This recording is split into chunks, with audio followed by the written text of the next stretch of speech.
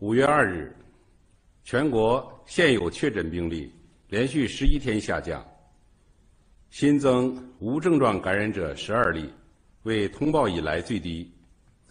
但近十四天有十个省份报告了新增本土确诊病例或无症状感染者，提示疫情反弹甚至扩散的风险依然存在。